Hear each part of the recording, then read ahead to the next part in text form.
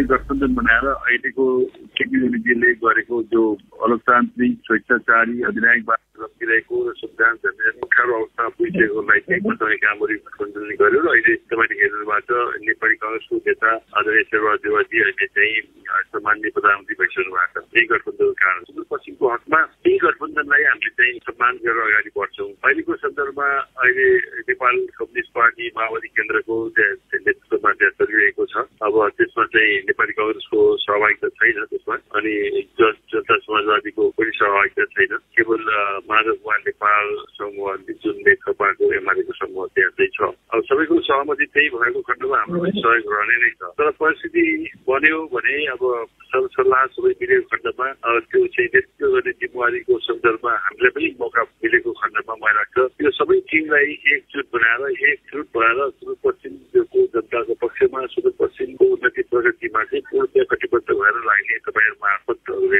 म भन्न चाहन्छु। तपाईँहरू चाहिँ मुख्यमन्त्री नै माग्नुहुन्छ कि या त अन्य मन्त्री पनि लिएर काम यस सन्दर्भमा के छ भन्दा यो पूर्णतया हामीले चाहिँ धेरै जसो सातैवटा प्रदेशहरूमा अहिले पहिलो चरणमा अहिले मैले बुझ्दाखेरि अब अहिलेको अवस्थामा चाहिँ प्रदेश प्रमुखहरूको चाहिँ चयनको सन्दर्भमा सल्लाह भइरहेको छ। अब त्यसमा फेरबदल हुने कुराहरू मैले सुनेको छु र बुझेको छु। त्यसको लगत्तै पछि अब जहाँ अलिअलि सबै कुरा राम्रै छ भने सुदूरपश्चिममा नेकपा माओवादीको नेतृत्वमा अहिले छ। त्यस सन्दर्भमा सबैले ठिकै छ भने पनि त्यसमा हाम्रो सहमति नै हुन्छ। तत्पश्चात पनि अब सबै कुराले गर्दा जस्तो प्रणालीमा पनि नेकपा माओवादी केन्द्रलाई बल पुग्ने अब त्यहाँको मुख्यमन्त्री बनाएको अवस्था छ।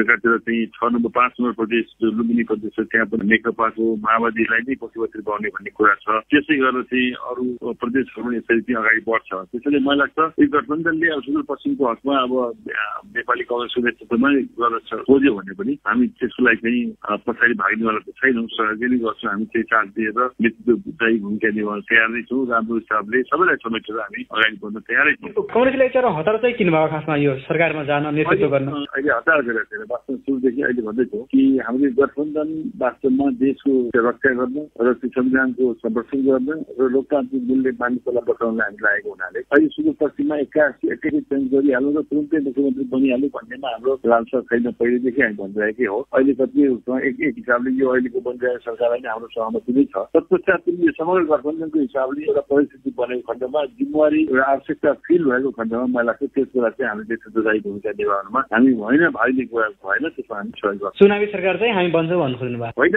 यही सरकारलाई नै अगाडि बढाउँ भनेर सबैले सहमति गरेका छौँ भने हाम्रो त्यसमा पनि सहयोग जसरी विगतमा थियो अहिले पनि रहन्छ। तर के भने अहिलेको सरकारले खासै गरेर विगतको तिन वर्षको दौरानमा विविध परिस्थितिले त्यति राम्रोसँग जनताको पक्षमा र अहिले जसरी जनता सुदूरपश्चिमको जनताले आशा भरोसा गरेको त्यो अनुसारको काम कुरा तपाईँहरूलाई सबैले दिँदैछ।